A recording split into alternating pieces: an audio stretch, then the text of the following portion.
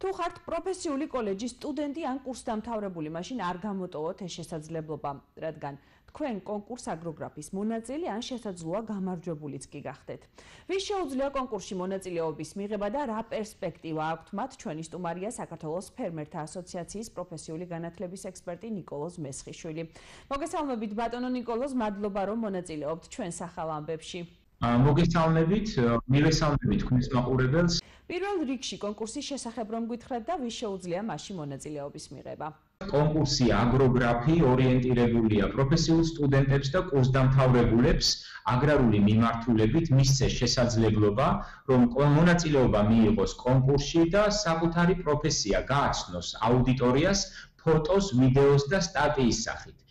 კერძოდ კონკურსი ორიენტირებულია ხელი შეუწყოს ახალგაზრდების დაინტერესებას და მათ წახალისებას სწავლის მუშაობის პროცესში გადაიღონ უნიკალური ფოტო-ვიდეო კადრები, ასევე მათ შეუძლიათ რომ დაწერონ საინტერესო სტატია, სადაც ისინი აღწერენ თუ როგორია ზოგადად მათი პროფესიული დღე, გნებავთ კოლეჯში, გნებავთ პრაქტიკული პრაქტიკის განხორციელების ობიექტზე ფერმერულ მეურნეობაში. პროექტის ფარგლებში კონკურსი უკვე მეორედ ტარდება, ამ პროექტს ქვია სამუშაოზე დაფუძნებული სწავლება აქვე ვისარგებლებს შევთხოვით და გეტყვით.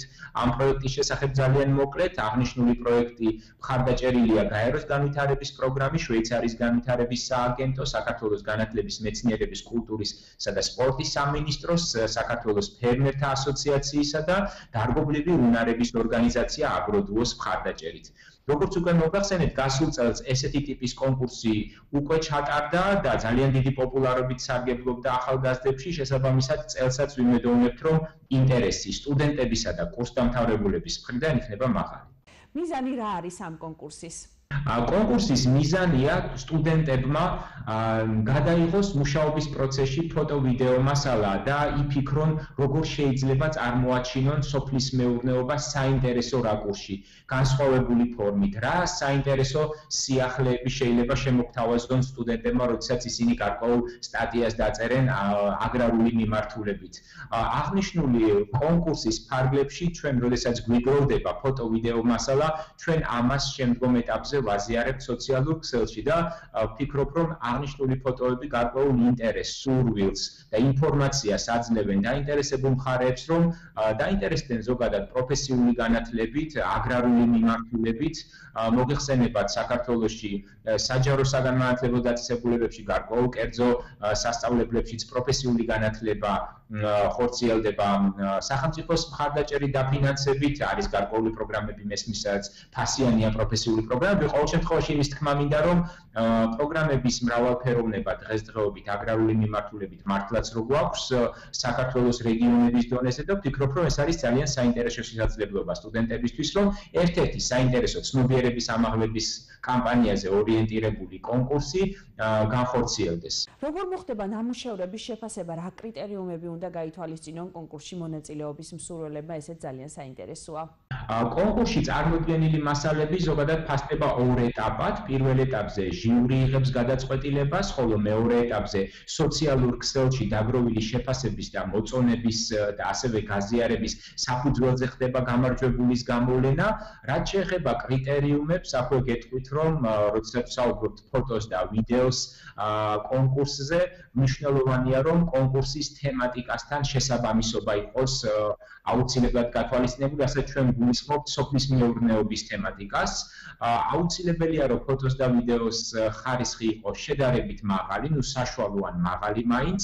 სტუდენტებმა კარგია თუ სტუდენტები ყურადღებას გაამახვილებენ ფოტოს და ვიდეოს გადაღების დროს. გარკვეულ კრეატიულობაზე ხასიათის გამომხატველობაზე რომ ვიზუალურად ესთეტიკურად ლამაზი ფოტოები და ვიდეო მასალა იყოს მოწოდებული როდესაც ჩვენ საუბრობთ ფოტოს ხანძლივ ვიდეოს ხანძლივობაზე აქვე მინდა მიმართო მსმენელს და ვუთხრა რომ 30-დან 2 წუთი 30 წამიდან 2 წუთამდე კარგი იქნება თუ კი ვიდეოს ქრონომეტრაჟი იქნება განსაზღვრული რადგან მასზე დიდი ვიდეოები ცოტა რთულია. აი თვითონ სოციალურ ქსელში დამძინებს პლატფორმას შესაბამისად მისასალმებელი იქნება მაქსიმალურად 2 წუთამდე იყოს ვიდეოების ხანძლივობა როგორც გითხარით, ვიზუალური ესთეტიკა, გარკვეული ინსპირირების ეფექტი ფოტოებში იგრძნობოდეს ძალიან კარგი იქნება. კარგია თუ ფოტოები და ვიდეოები იქნება დასამახსოვრებულების პერი სხვა მნახველებისთვის, რაც თავისთავად განაპირობებს აგრარული პროფესიული განათლების გარკვეულწილად პოპულარიზაციას. რაც შეეხება სტატიას, სტატიასთან დაკავშირებითაც მოგახსენებთ კრიტერიუმებს. კარგი იქნება თუ სტატიის მოცულობა იქნება მაქსიმალურად რაღაც დაახლოებით 1000 სიტყვის ოდენობის. აქაც მნიშვნელოვანია რომ კონკურსი იყოს აგრარული პროფილის აგრარული თემატიკა იყოს ძირითადად წინა პლანზე წამოწეული და სტილისტურად უნდა იყოს აუცილებლად სტატია გამართული, გრამატიკული გამართულობა მნიშვნელოვანია და თანმიმდევრული თხრობაც რო არ იყოს მოიხსენებათ გარკვეულად ქაოტური ინფორმაციის მატარებელი ესა თუ ის სტატია. რაც შეეხება პირველ ეტაპზე კონკურსის მონაწილეების მსურველების მიერ მასალების გამოგზავნას, გეტყვით ელექტრონულ მისამართს სტუდენტებმა და კურსდამთავრებულმა უნდა გაგვიზიაროს ეს მასალა. ეს არის wb lgeorgia@gmail.com აქ მიღებული ინფორმაციის საფუძველზე, როგორც უკვე მოგახსენეთ, ჟიური შეაფასებს მასალას და მე შემდგომ ეტაპზე გაზიარდება სოციალურ ქსელში, სოციალური ქსელის სახელწოდებაა სამუშაოზე დაფუძნებული სწავლება. და ბოლოს რა პერსპექტივა აქვთ მათ გადაეცემა თუ არა რაიმე სახის პრიზი გამარჯვებულს?